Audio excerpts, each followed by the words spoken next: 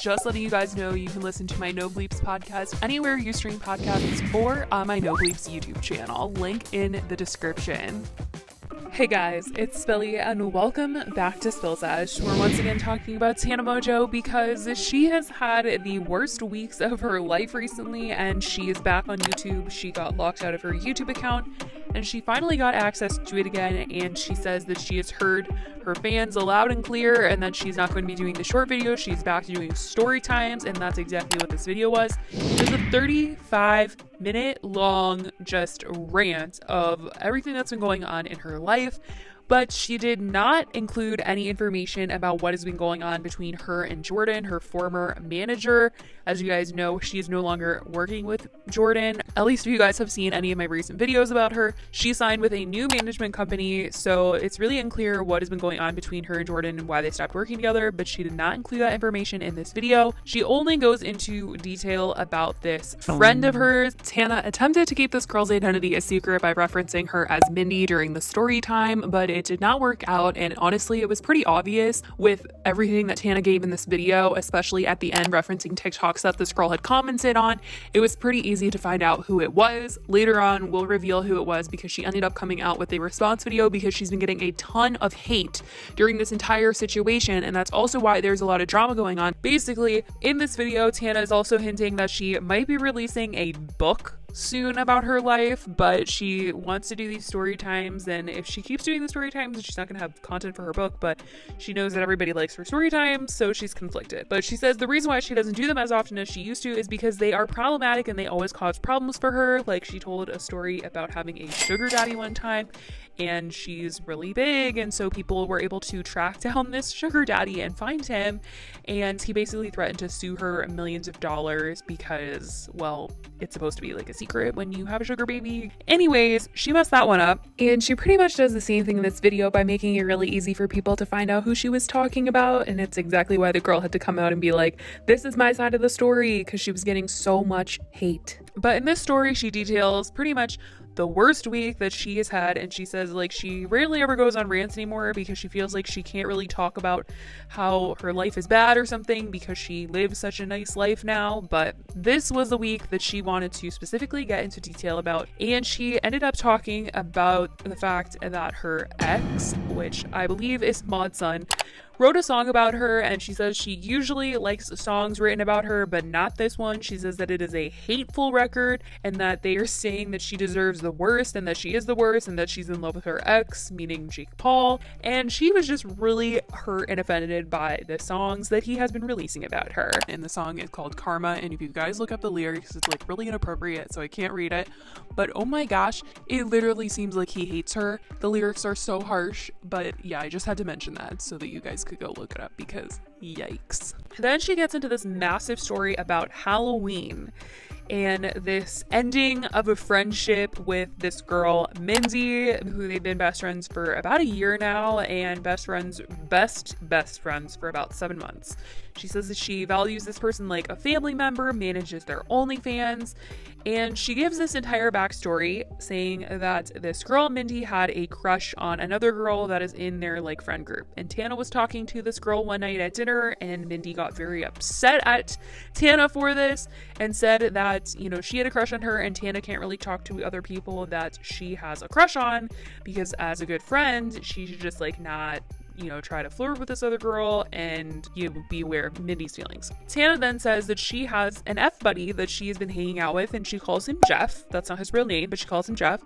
She says that, you know, Jeff comes over and they hook up, and Mindy will always talk to Jeff, and they've become friends over the, you know, past couple of months that they've been hooking up because, you know, Jeff has kind of become friends with all of Tana's friends at this point. But recently she has been keeping her eye on Mindy because Mindy posted a photo on her Instagram, and Tana had seen that Jeff had commented on this Instagram, and she was just kind of like, you don't really comment especially three star emojis on someone's Instagram if you're not like into them somehow. So she says later that night, her and her friends go out to dinner, and at this dinner, they see her ex that has been releasing all these horrible songs about her And as Tana and her friends try to leave this dinner because they do not want to be around that, all of her ex's friends start screaming the chorus of the song that is about her, and it's just not a good night for her. And she basically goes on to say that later that night, Mindy tells Tana that she should invite Jeff to dinner, and Mindy is just like a little too happy to be seeing Jeff there. Tana's a little skeptical, but she doesn't think like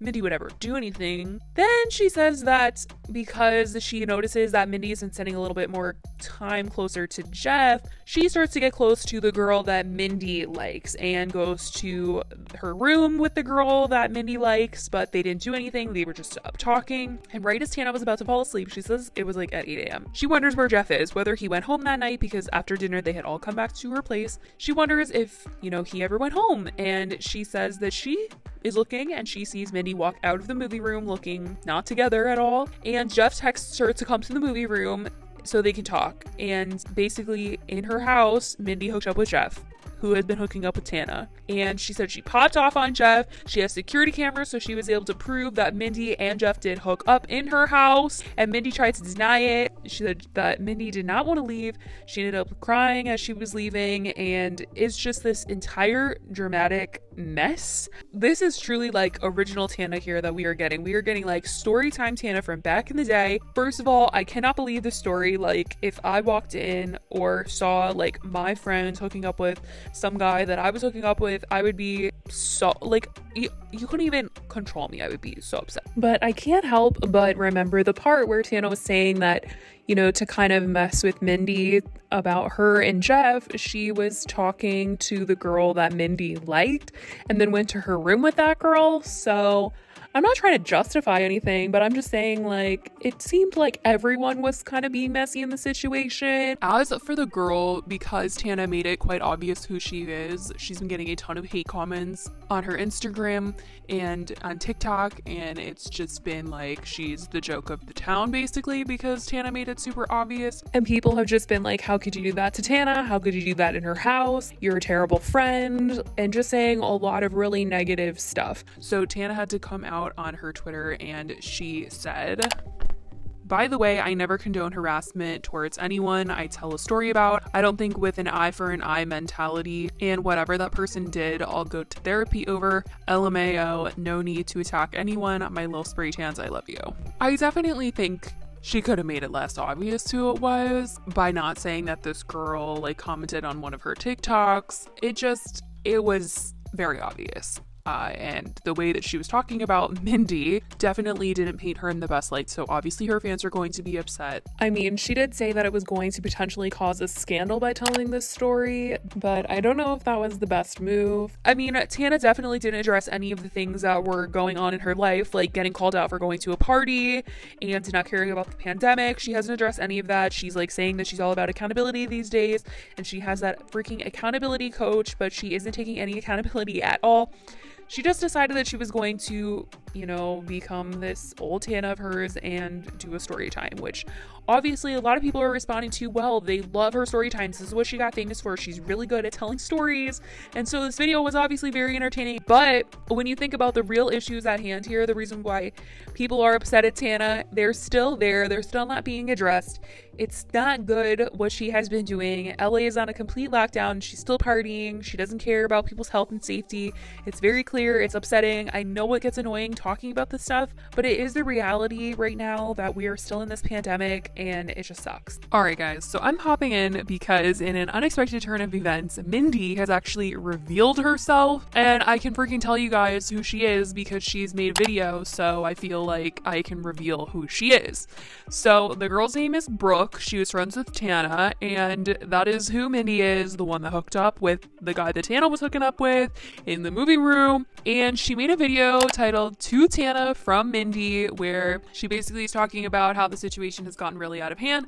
She's gotten a lot of hate comments. Like I said, Tana made it pretty dang obvious who Mindy was. So that really sucked. Like she got all that hate. Obviously, what she did was super messed up. But I don't know, just like somehow bringing it online and into the public just like doesn't feel right on Tana's part to get like her entire audience to like hate one of her old friends because of this situation. But In this video, she clarifies that she never invited Jeff to dinner. That like was not her idea to tell Tana to invite Jeff over to dinner. And she said that Tana was all over the girl that she liked, and everyone thought it was super shady when Tana went to her room with this girl and locked the door, never to be seen again for the rest of the night. And everyone's just like, I can't believe she did that to you. And she says that the entire video, Tana is trying to allude that her and Jeff did the deed, but she said that they only just hooked up and they did not do the deed. But people felt like she was trying to justify hooking up with the guy that Tana was hooking up with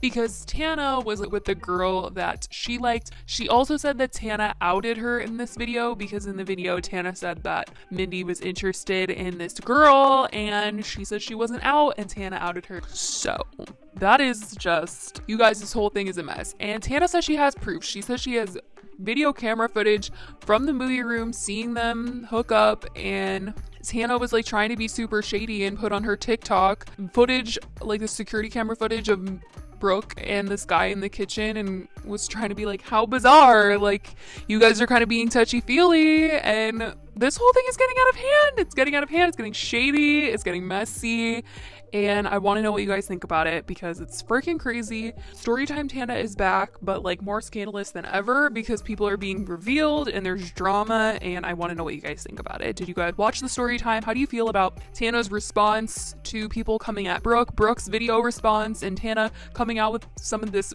footage from the security cameras. Like, this is insane. Let me know in the comments down below. I love you guys so much, and I will talk to you in the next video. Bye, guys.